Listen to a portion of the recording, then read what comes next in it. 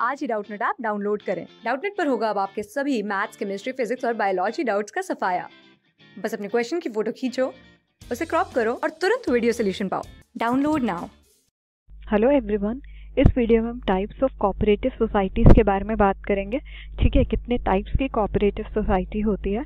तो पहला आ गया consumer cooperative society okay second है प्रोड्यूसर्स कोऑपरेटिव सोसाइटी फिर आ जाती है मार्केटिंग कोऑपरेटिव सोसाइटी फिर आ जाती है फार्मर्स कोऑपरेटिव सोसाइटी फिर आ जाती है क्रेडिट कोऑपरेटिव सोसाइटी और लास्ट में है कोऑपरेटिव हाउसिंग सोसाइटी ओके तो ये सिक्स टाइप्स की कोऑपरेटिव सोसाइटीज को हमने डिस्कस करना है।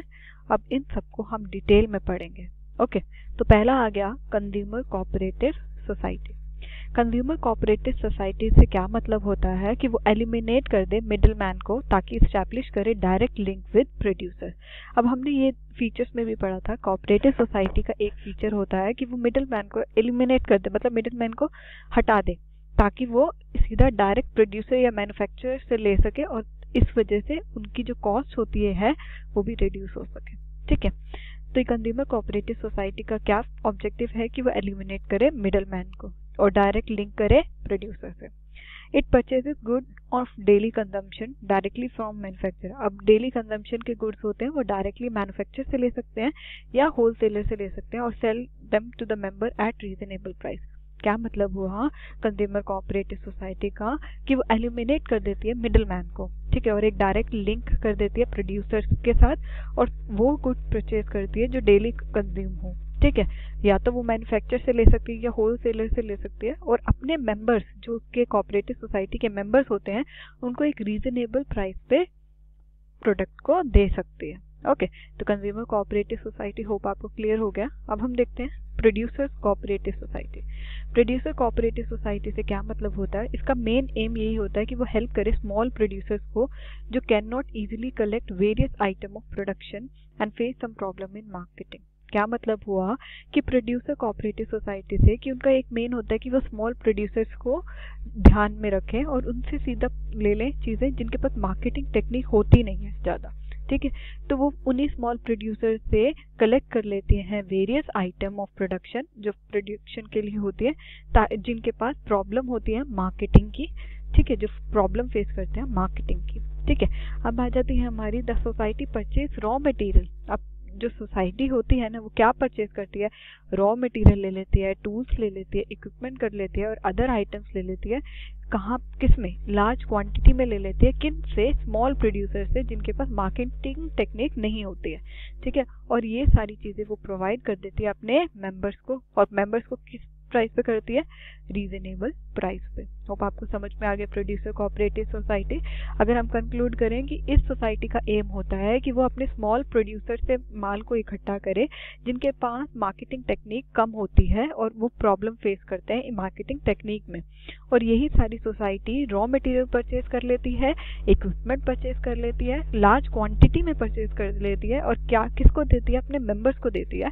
किस पे देती है? एक रीजनेबल प्राइस पे। ओके अब सेकेंड पॉइंट क्लियर हो गया हमारा प्रोड्यूसर कोऑपरेटिव सोसाइटी अब हम देखते हैं अपना थर्ड पॉइंट जो है marketing cooperative society okay marketing cooperative society से क्या होता है? ये परफॉर्म करती है various marketing function like transportation warehousing packaging grading marketing research etcetera for the benefit of its employ क्या क्या मतलब होता है कि मार्केटिंग कोऑपरेटिव सोसाइटी फ़ंक्शन करती है मतलब परफॉर्म करती है मार्केटिंग टेक्निक जैसे कि हमने देखा ट्रांसपोर्टेशन कर देती है या वेयर हाउसिंग दे देती है कि माल को एक जगह रखना है, ठीक है या तो पैकेजिंग फैसिलिटी दे देती है ग्रेडिंग दे देती है रिसर्च कर देती है अपने मेंबर्स के लिए।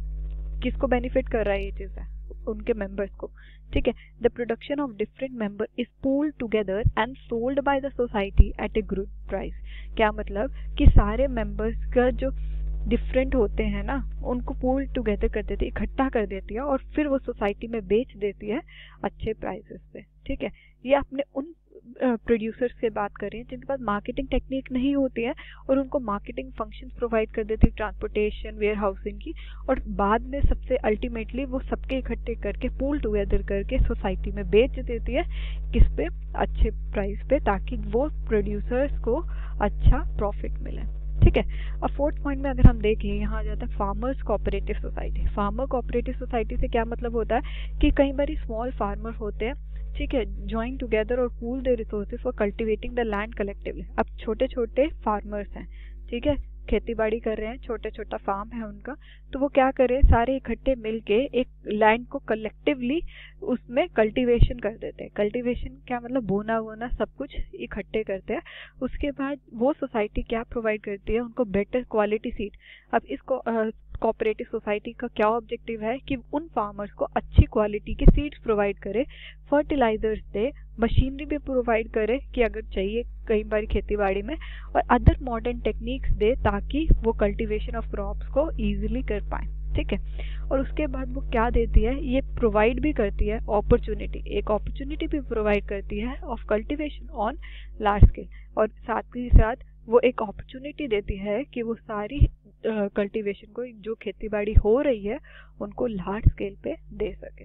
ओके तो फोर्थ पॉइंट हमारा, अगर हम कंक्लूड करेंगे यहाँ पे तो क्या कहें कि ये वो सोसाइटी होती है जो अपने स्मॉल फार्मर्स को, खेत खेती बाड़ी करने वाले लोगों को, ठीक है, एक रिसोर्सेज प्रोवाइड करती है। गुड क्वालिटी सीड्स की तरह फर्टिलाइजर्स की तरह मशीनरी की तरह, जो सारे कल्टीवेट करते हैं अपने लैंड को कलेक्टिवली ठीक है, एक अपॉर्चुनिटी भी प्रोवाइड कर रही है ताकि वो कल्टीवेट कर सके अपने लैंड को लार्ज स्केल पे। ओके अब फिफ्थ पॉइंट पे आ जाते हैं हम। इसमें लिखा हुआ है क्रेडिट कोऑपरेटिव सोसाइटी अभी थ्री मार्क्स का एक इंडिविजुअल क्वेश्चन भी आ सकता है। वेरी इंपॉर्टेंट है। तो ध्यान से देखें क्रेडिट कोऑपरेटिव सोसाइटी अब क्रेडिट कोऑपरेटिव सोसाइटी वो होती है जो अपने मेंबर्स को प्रोटेक्ट करती है from exploitation by money lender अब कई बार क्या होते हैं मेंबर्स होते हैं ना, जो कोऑपरेटिव सोसाइटी के होते हैं, वो कहीं से भी आ सकते हैं किसान भी हो सकते हैं, ठीक है, वो खेती बाड़ी भी कर सकते हैं, या वो स्मॉल कंज्यूमर या प्रोड्यूसर्स भी हो सकते हैं तो वो सब चीज़ें मनी लेंडर से उनको एक्सप्लॉयट करने से बचाती हैं। ठीक है, क्योंकि कई बार मनी लेंडर्स क्या होते हैं, छोटे खेती बाड़ी किसानों से ज़्यादा पैसे ले लेते हैं, ठीक है रेट ऑफ़ इंटरेस्ट ज़्यादा होता है, ये स्मॉल प्रोड्यूसर्स जो होते हैं, उनको लोन बहुत ज़्यादा महँगा मिलता है, ठीक है इंटरेस्ट रेट बहुत ज़्यादा होता है। तो उन सबको एक्सप्लॉयटेशन से बचाने के लिए क्रेडिट कोऑपरेटिव सोसाइटी हेल्प करती है। तो ये क्या करती है, वो उन्हीं मेंबर्स को जिनको लोन की ज़रूरत होती है, जिनको इंटरेस्ट रेट बाहर से बहुत ज़्यादा हाई मिल रहा होता है, उनको लोन प्रोवाइड कर देती है। And their member at easy terms and reasonable low rate of interest और क्या कर देती है, एक ईजी टर्म्स पे दे देती है,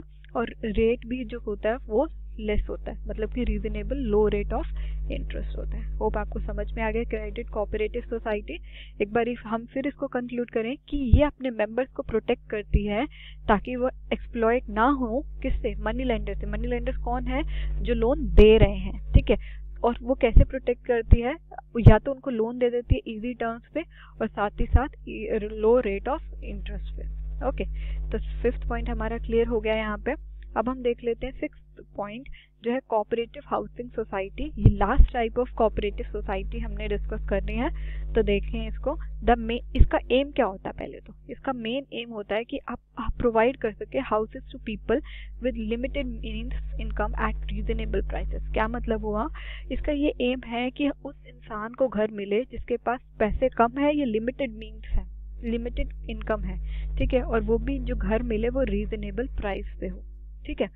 तो यही हो गया the main aims to provide houses to the people with limited means income and reasonable price. ठीक है? तो कई बार क्या होता है कि गवर्नमेंट भी कई बार पॉलिसीज़ कर देती है, ठीक है? और ये यहाँ पे कोऑपरेटिव सोसाइटी कर रही है। ओके तो ये था हमारे six types of cooperative society जो इस वीडियो में हमने डिस्कस करे। होप आपको पसंद आए हो। Thank you for watching class six से ट्वेल्थ से लेके NEET I I T JEE mains और एडवांस के लेवल तक। दस मिलियन से ज़्यादा स्टूडेंट्स का भरोसा। आज डाउनलोड करें डाउट नेट आप या व्हाट्सअप कीजिए अपने डाउट्स आठ चार सौ चार सौ चार सौ पर।